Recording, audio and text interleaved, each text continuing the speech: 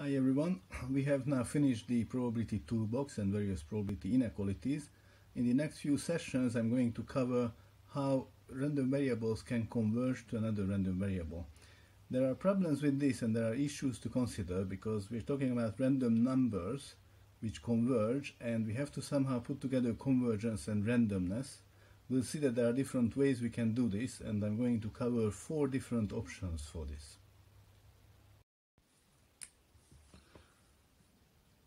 So, mode of convergence.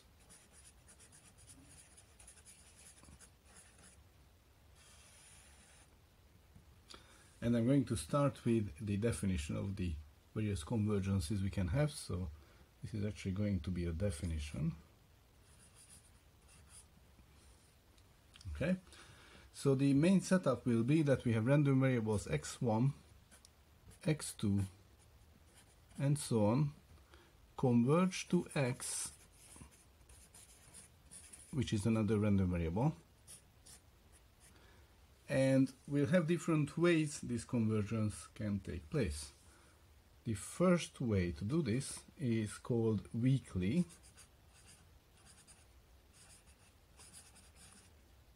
So we have convergence to x weakly. We say there convergence weakly or equivalently in distribution.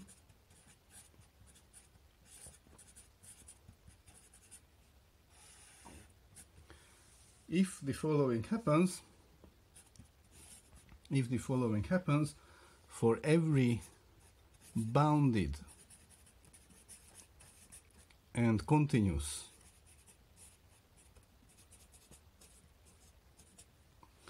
function g, we have that the expectations gxn as numbers, these are not random anymore, converge as n goes to infinity to the expectation of g of x. Okay, so that's the first definition. And then a remark here, I'm gonna make two remarks. The first remark is that equivalent to this,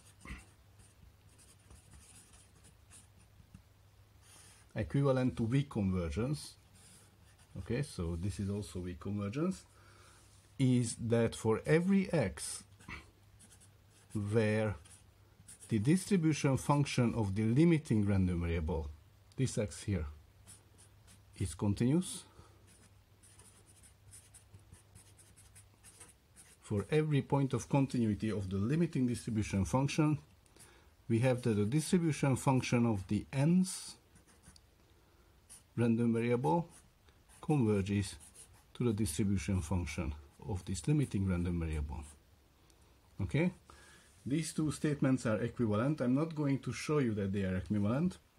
If you want to check uh, how it's done, then you can take a look at Portmanteau's theorem, which I'm not covering in this unit.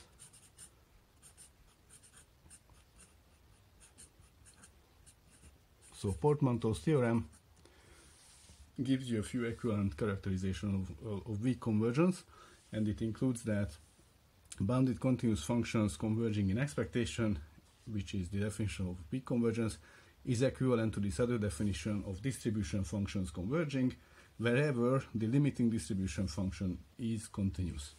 Now distribution function is non-negative, uh, sorry, it's uh, non-decreasing and uh, it's bounded so it can actually only have a countable number of non-continuity points. It can only jump at a countable number of times, and therefore this is not a really big restriction. So there are only countable many places where uh, the limiting distribution function is not continuous.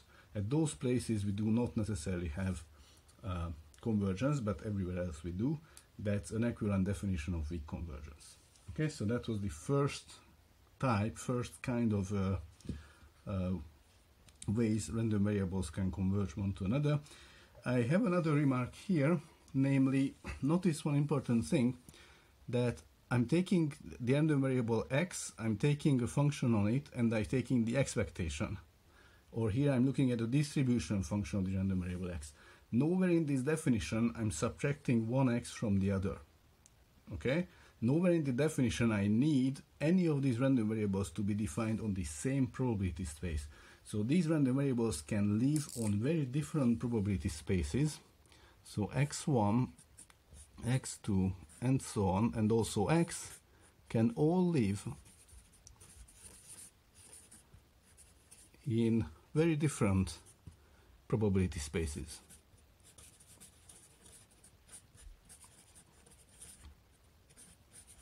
Okay, maybe x1 is an experiment performed in some way and x2 is an experiment performed in the Mars and x3 on the moon and the limiting distribution lives on another galaxy, it's still fine. Okay, so we have just the distribution functions on the expectations of functions. We don't need to have the same probability space. So that was weak convergence. Okay, there is another way we can have random variables xi converge to x, and this is called in probability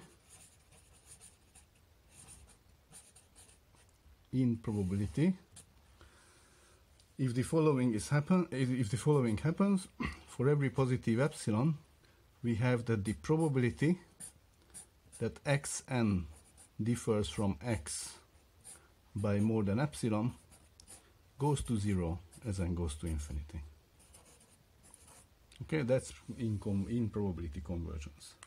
Notice that I'm subtracting xn from x, which means they need to be defined on the same probability space, otherwise subtraction doesn't make any sense. Uh, and that's in probability convergence. I'm also going to add the notation here. So the notation for weak convergence is, so for weak convergence, we had xn, either I can denote it like a little W on top of the convergence or some people denote it by a double arrow. That's the notation for weak convergence. Okay, and in probability con uh, convergence is often denoted by a little p on the convergence sign. So xn goes to x in probability. That's denoted by this little p. Okay, so that were the first two ways random variables can converge to another one. Let me show you two more, which will be important in this unit. Okay. So this the the third way we can have convergence. Uh, again, let me just remind that uh, random variables x converge to x in the third way, which I want to talk about, and that's almost surely. Almost surely. And sometimes this is abbreviated AS, as you already know very well. Almost surely if, well, this is what you expect based on this uh, nomination, if the probability of this event that xn's converge to x is 1. That's almost sure convergence. Okay? So these are random variables, meaning they are functions of omega, x is a function of omega, so there are some set of omegas where the actual values of the xn converge to the actual value of x. This subset must have probability 1. That's when we say that we have convergence almost surely. The notation for that is just uh, as, so we usually just say x n goes to x almost surely. People also say strongly. Almost sure convergence is also sometimes referred to as strongly or strong convergence. So almost sure is the same as strong convergence. Okay, so that's the third type of convergence, and I have a fourth type of convergence in LP, and this is actually a lot of definitions for any positive P real number, if the following happens, take the expectation of your random variables xn minus x to the p's power. So again, take the p's power of the difference, absolute value of the difference, and then an expectation outside. If this thing goes to zero, as n goes to infinity, then we say that we have LP convergence. The notation for this is xn converges to X in LP. Okay. So these are the four modes of convergence I would like to talk about and what's coming next is the relations of one to the other of these convergences, what we can say, which one implies the other and uh, going to explore these kind of questions now.